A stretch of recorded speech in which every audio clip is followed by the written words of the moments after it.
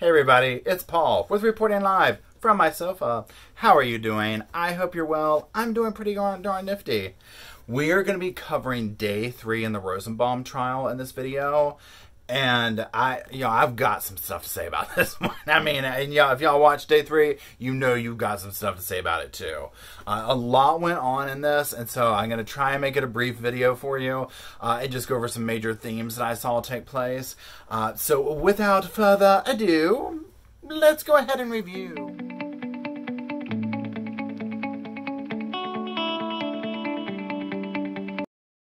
Okay, so again, day three starts off with Millie's adoptive mother, Amanda Har- Harrell. Harrell. I like this lady because you could tell she was very passionate about having Millie as a daughter, about adoption, things of this nature. She was very concerned you know, never wanted to be extra careful in regards to having a child that had trauma in the past, things of this nature, and I really respected that about her. Uh, and so, some of the big, the big things that stuck out to me was the things that Millie told her about incidents at the Rosenbaums, uh, which were things such as I get spanked if I, we, a rule was they would get spanked if they fell asleep in the car. Uh, also, the, something about she wasn't doing something fast enough, which I think later we find out it was like getting dressed. And so Jennifer, she said that Jennifer twisted her ankle and sat down on her. Uh, another thing was that she made her eat mashed potatoes until she threw up and then made her eat the throw up. I mean, literally just stuff like when you're hearing these things come out, your heart breaks. You're like, can you imagine hearing a child, anybody for that matter, but a child nonetheless telling you these things? I mean, you're just like, what am I? I mean, why do I do this? Why do I watch this? But, you know, it's just, it is what it is. So the defense gets up there. And now, mind you, this lady has been sitting in the audience watching, so she knows what this defense is about.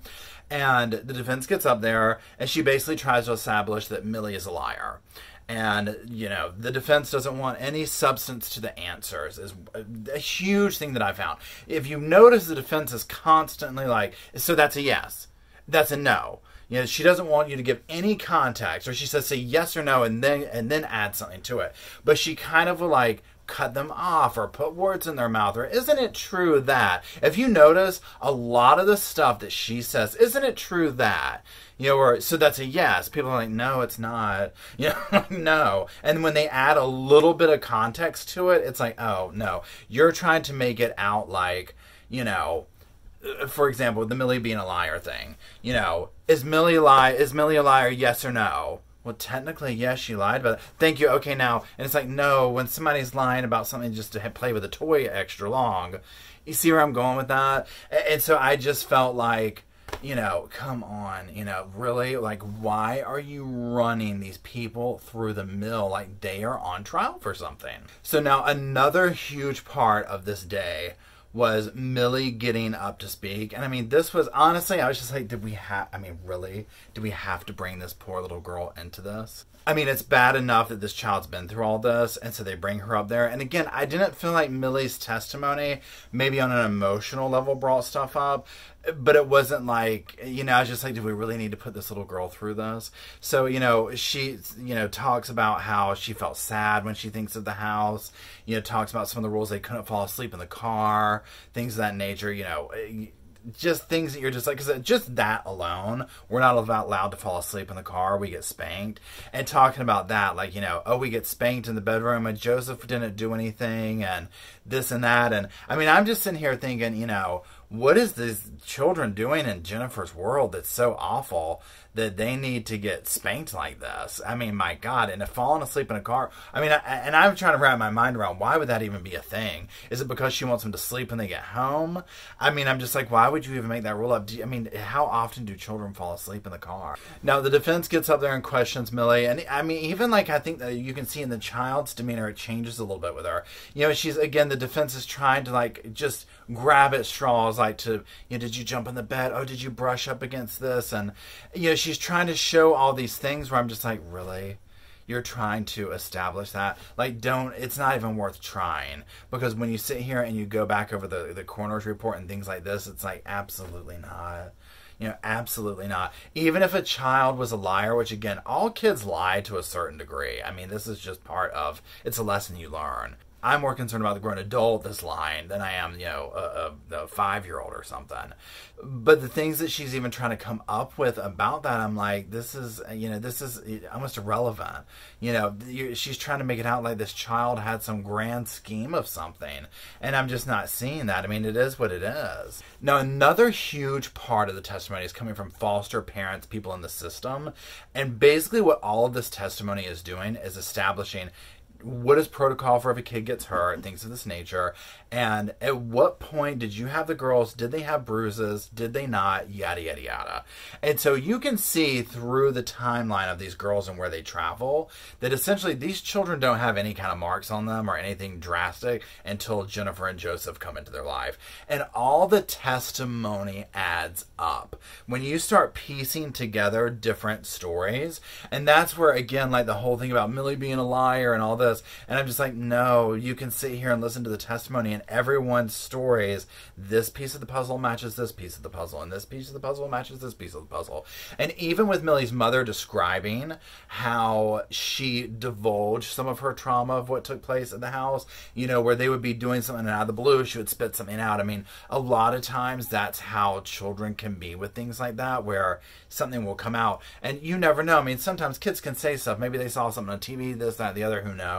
But in this scenario, when those things all match and you start connecting the dots, unfortunately, after the fact, uh, but you start connecting the dots and you see, no, this isn't something this kid's making up. Like, this has some substance to it one of the groundbreaking testimonies in this day was, and I'm gonna ruin her name, but she was the lady who worked for you know DFCS, or she was the person who applications went through. She ran the impact program, uh, things of this nature. Ch- I'm gonna probably butcher this, but I'll try. Uh, Shanice Odiku, uh, and I'm sorry, I'm probably saying that completely wrong. I loved this woman. I absolutely loved her. When a sane voice, and I mean, I, am not trying to say other people in this aren't sane, but she just kind of had this attitude, like this no nonsense attitude of this is this. And when you started hearing her testimony coming out, you got a much clearer picture. Because one thing I think we're all asking is, how do these children end up with this woman? You know, like, my God, what's going on? And you start seeing oh my gosh, this is what took place, you know. Um, so I'm just going to go through, through some of the things of her testimony that really stuck out to me. So she is in charge of doing the background checks for these people. And basically, in essence, what she's saying is she had two background checks. One came through, one was like in Jennifer's maiden name, and one was her and her husband as a couple. And she basically is saying that the, the, they've started to go through, but they fizzled out, was her words. And nothing really came of them. And one of them, she said Jennifer's came back with all the CPS stuff on it. And that's when it was like, oh, okay, she was in the foster care system herself, and this triggered an investigation. And so now, in one part, I felt like she said she didn't get approved for the first one, and then she came back with, "Oh, here me and my husband are," whatever. So that part I was a little murky on. I got confused, and even the defense was like, "Okay, I'm confused about something." And at that point, I was like, "I am too." You know, so I'm glad she's asking, but I still kind of left that part. So I felt like she was essentially saying, "No, these kind of fizzled out a little bit," but essentially what she's saying is that the applications come through her the home studies all this type stuff. If that's going on she knows it's taking place and she never knew this was taking place with jennifer and joseph. Now part of the stuff that gets you to the point of the gall is jennifer called this woman up with a total attitude, and I'm sure she was nasty. And as she said, she wasn't nice or she was mean. Basically saying, Why is this taking so long? And essentially throwing her title around. I know all these people, and yeah, who do you think you are? And da da da da da da da, and so on and so forth. So this woman is now saying that Jennifer never attended the impact class and there was never a home study done. And so essentially the defense is also like the defense is the entire time at time is trying to say, but if there was one done, then you didn't you you don't know about it. She's like, there wasn't one done. But you you didn't know about it. There wasn't one done. And essentially what the the lady, the worker is trying to say is no, it's basically my this is my interpretation, my words.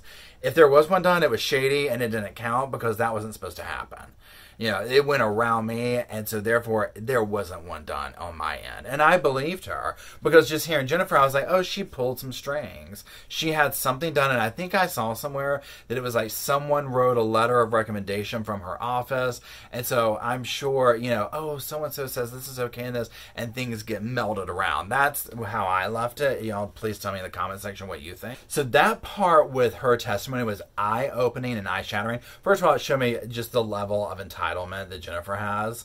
So, you know, whatever reason she's not getting approved to do this stuff, she doesn't go through impact training. She doesn't go through the other thing. And another person said that they thought it was weird when they heard the testimony or whatever. And it might have been this lady, I just don't remember right now. And I don't have it in my notes. I'm just remembering this aspect where she said, you know, they're CPR trained, and so it's odd that she said she didn't know how to do CPR on the phone call or whatever, because that's training you go through. So I thought that was interesting.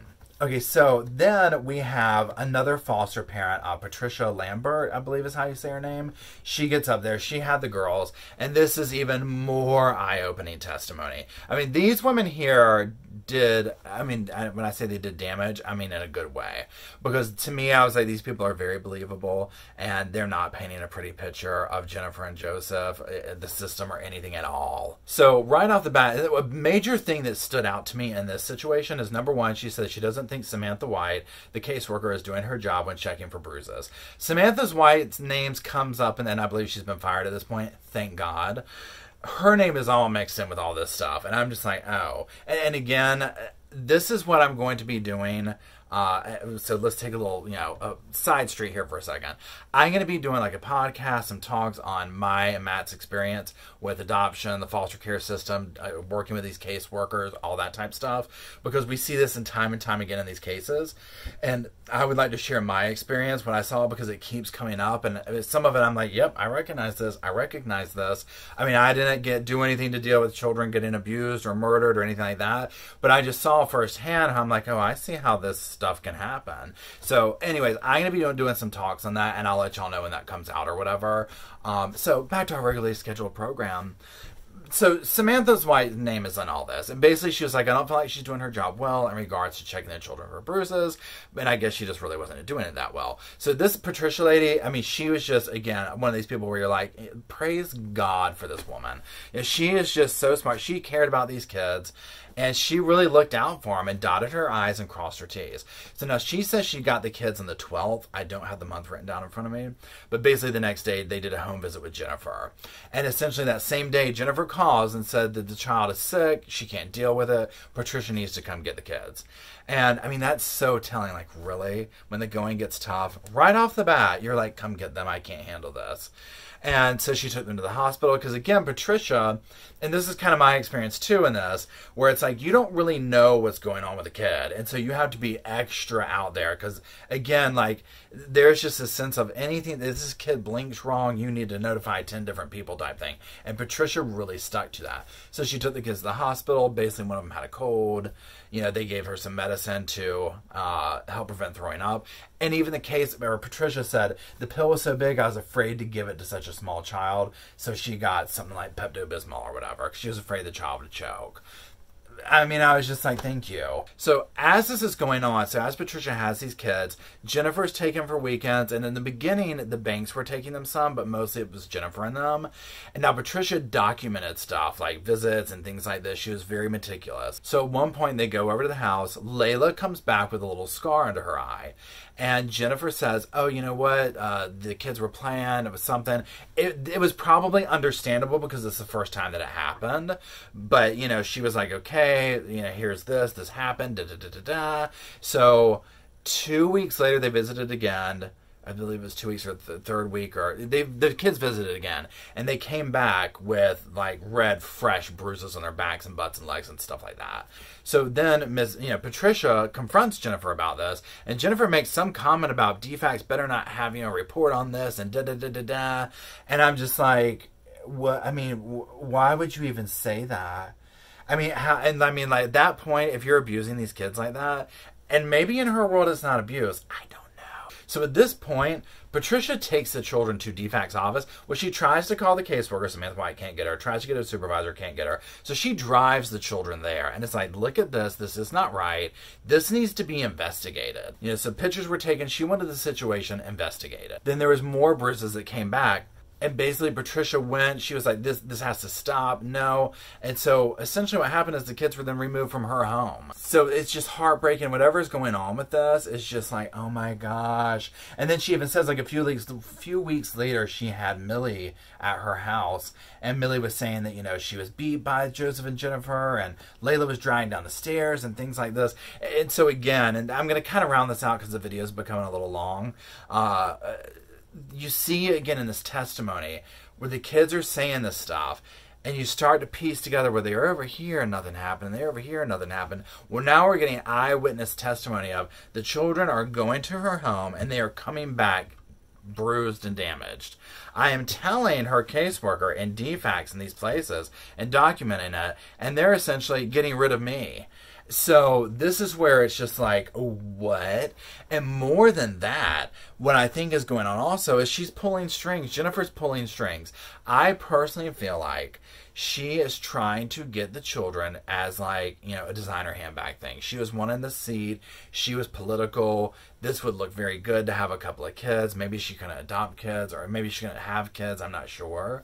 I don't know what her motives you know why the motives were there but i just feel like that could be part of the process because i'm just not again i never understand when people have to resort to beating children i don't get that i don't understand it i don't condone it and especially obviously when it's a brutal beating like this she murdered this child. And I know that I'm saying she did this, she did that, but at this point in this case, the evidence is so glaring to me.